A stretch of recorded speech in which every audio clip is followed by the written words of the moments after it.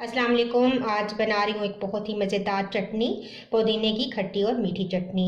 ये चटनी बहुत ही मज़ेदार तैयार होती है। आप इसको बर्गर्स में, सैंडविचेस में, चना चाट, दही भल्ले और मुख्तलिफ़ स्नैक्स में डालकर खा सकते हैं। बहुत ही मज़ेदार तैयार होती है। तो आइए इसकी रेसिपी को देखते हैं। पुदीने की खट्टी मीठी चटनी बनाने के लिए मैंने पुदीना लिया है एक कड्डी और इसको मैंने धोकर साफ़ कर लिया है। इसके अलावा आधी कड्डी मैंने धनिया की ली है, तीन से चार मैंने सब्ज़ मिर्चें ली हैं, आप अपने टेस्ट के मुताबिक ज़्यादा या कम कर सकते हैं। तीन टेबल स्पून मैंने इमली का पल्प लिया है और चार टेबल स्पून मैंने दही लिया है। इसके अलावा मैंने लिया है चाट मसाला, एक टीस्पून हाफ़ टी स्पून भुना और कुटा हुआ सफ़ेद ज़ीरा।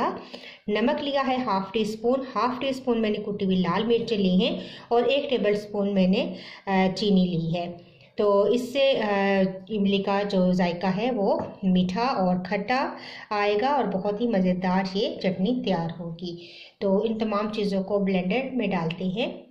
तो ग्राइंडर में हम तमाम चीज़ें डाल देंगे। धनिया, पुदीना,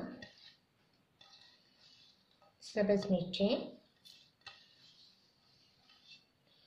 और साथ ही मैं शामिल कर दूँगी दही। तमाम चीज़ें एक ही दफ़ा डालकर हम इन्हें इसे अच्छा सा ब्लेंड कर लेंगे। और ये तमाम स्पाइसेस तो अब मैं इसको ब्लेंड कर लूँगी। तो लीजिए, बहुत ही मज़ेदार चटनी हमारी रेडी है।